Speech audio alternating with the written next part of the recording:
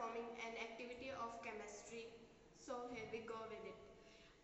I have some uh, calcium oxide, its common name is quicklime and some water. Now I am going to mix it in water.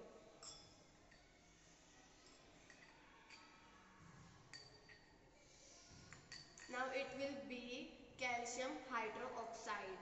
Its common name slaked lime. Now we will mix it